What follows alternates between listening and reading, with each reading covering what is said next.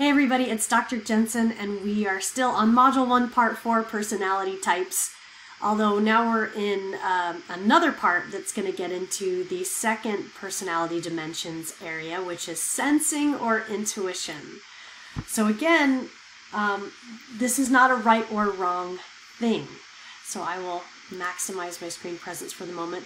This one tends to be a, a much more easier one to orient yourself on because it gets after things like information processing and problem solving. And I think those skills at this stage in your life are a lot more obvious to you than maybe they would be if you were younger or or maybe in an earlier stage. So this this one's hopefully a little more obvious and you can kind of be like, yep, that's exactly how I orient myself. That's where I fit. Um, if not, and you're a little bit more ambivalent, again, we have a chart to help you. So let's get after that chart before we get into sensing or intuition. Here it is, and I will move it up and down so we can see it better.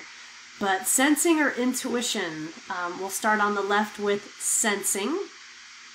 People who are sensing, they trust what is certain and concrete. So they are a person for facts and figures. Uh, they tend to also be really pretty um, regular news consumers, right? So they prefer just straight news rather than commentary, um, and uh, not, wouldn't necessarily like talk radio unless it was like full of facts, right? They like new ideas only if they have practical applications. So there has to be some purpose to everything we do. You know, they're not really as interested in um, going forward on something unless they can see it being useful. They value realism and common sense, and uh, they manage their time well for the most part. They like to use and hone established skills. Again, this is comfortable for them and it makes sense for them because they value things that are useful.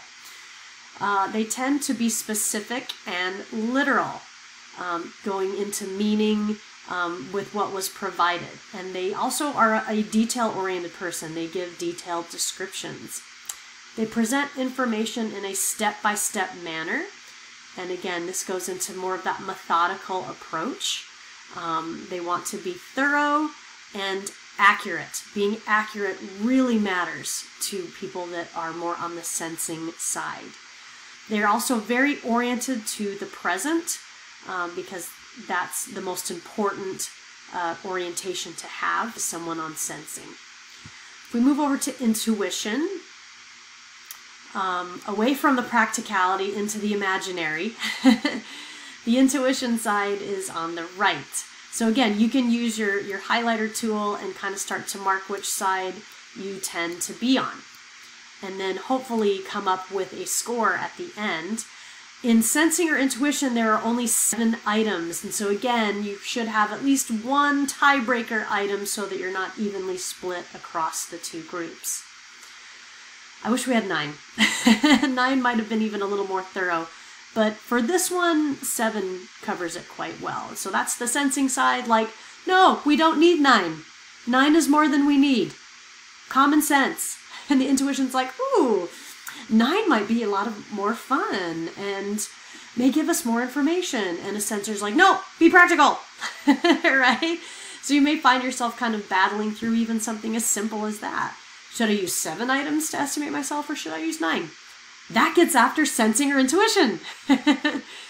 so on the intuition side, they trust inspiration and inference. So they really like searching for meaning right? They don't have as much use for facts. Facts are useful, but they go well beyond the facts into trying to get practicality out of how facts are applied, even though that it's, it's hypothetical.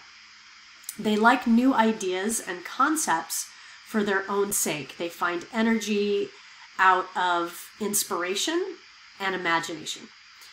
They value imagination and innovation. Uh, they're kind of naturally creative people where they can see things beyond their original use or their original application. They also like to learn new skills and they get bored or they're bored easily after mastering skills. So that's maybe something that is a little challenging for them. Um, they kind of like to be constantly stimulated, but stimulated in a way that creates lots of deep thought. Uh, they tend to be general and figurative, looking at kind of overviews and summaries. They don't really have much of a place for detail. Not to say they can't focus on details, but it's not as interesting to them. They like using metaphors and analogies. So examples go a long way with someone with intuition because it lets them use those application skills a little bit more. They present information through leaps in a roundabout manner. So this is someone that might not cut to the chase on an explanation, which would drive someone on the sensing side crazy. They just want steps, they want facts, and they want them to be over with. Um, someone on intuition might be describing what the painting's going to look like and what you're after, and the sensor is going to be like, where are the brushes? What colors are we using? How do we mix them? And so they're going to really approach art from two different places, right? And you need both in order to create that piece of art. So it just depends on where you like to spend your time. Again, your preference. They uh, also are oriented toward the future. Again, they like to operate in the hypothetical, but you have to use some of the orientation to the present in order to make the prediction for the future. So I don't want to present people on the intuitive side as though they're aloof and they're not focused and they're distracted easy. Not the case. It's just that they write they like to think about their next steps rather than the current situation. And maybe it's a, a strategic endeavor for them in some ways. But let's get after the slides, and I'm going to disappear into the corner for this part. While some uh, some people will focus on what is, while others tend to focus on what could be. Both are valid approaches to the world. So, sensing describes the process of gathering data through the five senses, concentrating on what can be seen, heard, felt, smelled, or tasted. So, they're very oriented on facts and observations because that's what's going to get them through to the next thing. Um, that's kind of the place they feel safe and secure and feel like they can be deliberate and get the outcome they're after. So even though we all use our senses, some people are just more interested in meanings, relationships, and possibilities based on facts rather than just simply the facts alone. So that's the intuitive. They trust their sixth sense more than the other five senses, looking between the lines for meaning in all things. So if we go into detail with sensors, again, they trust what can be measured or documented and focus on what is real and concrete, as well as their own personal experiences. They have a high degree of trust for themselves because they can keep track of that detail. They're very oriented to the present to concentrate on whatever is happening at the moment, looking carefully uh, at a situation to determine exactly what is going on. They're very good at observation, noticing and remembering facts like details. So they would be a great person to have on your team if that you had to keep track of a lot of stuff. Uh, sensors tend to be naturally inclined to do that. On the intuitive side, they're going to be focusing on implications and inferences. Again, valuing imagination and trusting their inscriptions and their hunches. And so they kind of operate in that sixth sense a lot, where they kind of can try to forecast what's about to happen. They're more oriented toward the future and uh, they also tend to anticipate events easily. Um, and so it almost bothers people that they can do that, where they're like, How did you know that was going to happen? And they just have a sense of prediction. They're pretty good at it. They generally try to make things um, different or make differences rather than maintaining them the way they are. Um, again, because they kind of crave meaning and the possibilities. They look at a situation wanting to know what it means and what its consequences might be because that's more informative to what they value. They're very good at interpreting facts or gleaning insights like patterns and big picture because overall they feel like that will most best position someone in their decision making um, to kind of get to a bottom line. So I just wanted to share a brief story that came out of your text while we look at uh, sensing or intuition. Sorry, wrong slide. So um, this story really has to do with two people approaching the world from two different places. So again, sensors are good at noticing and remembering a great many facts, and intuitives are best at interpreting facts and gleaning insights. So in the story in your text, you have Elizabeth, who is more of a sensor, and Jim, who is more of an intuitive. They work together at a cosmetics manufacturing company. One day, the president hastily called all department heads together for a rather tense meeting. He proceeded to run through some figures that painted a grim economic picture for the company. If things didn't improve, he said, employees would have to be laid off and other cost cutting measures would be taken.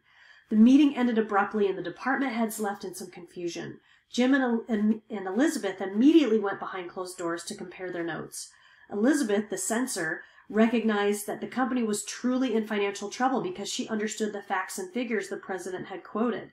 As Elizabeth made additional calculations on her own, it was clear, as it could be, and made it even more alarming, more so than the meeting was. Although Jim really didn't have a head for numbers, and intuitive, he too was quite alarmed. He had known something was wrong as soon as he'd walked into the meeting and had a sense that there was more going on than the president indicated. He noticed immediately that their usually easygoing president was agitated and that several department heads exchanged looks. He now remarked to Elizabeth that relations seemed strained between the president and vice president for research and development. Although nothing had been said about it in the meeting, Jim wondered if the company's anticipated new skincare line was still being developed, if it might be in trouble, and would it have a drastic effect on the bottom line. So, as it turned out, both Jim and Elizabeth were correct. A few days later, the president broke the bad news, and for completely different reasons, as we've seen, neither Jim nor Elizabeth was surprised. Although they each had focused on different kinds of data, uh, the information they processed was a little bit different.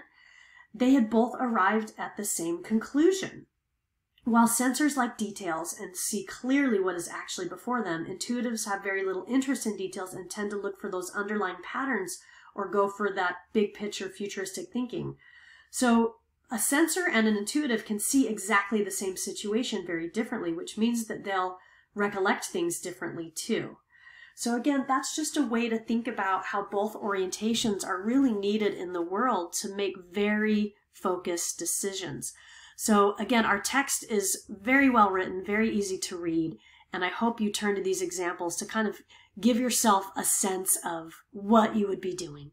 And we'll see you in the next lecture.